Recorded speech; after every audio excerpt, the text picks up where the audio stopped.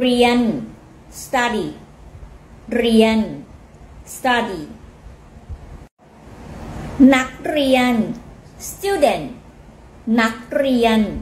student เหรียญ coin เหรียญ coin Which one is the right answer for the word free coin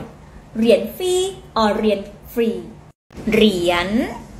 rising tone the coin เรียน mid tone study so free coin is this one ค่ะ เหรียญฟรี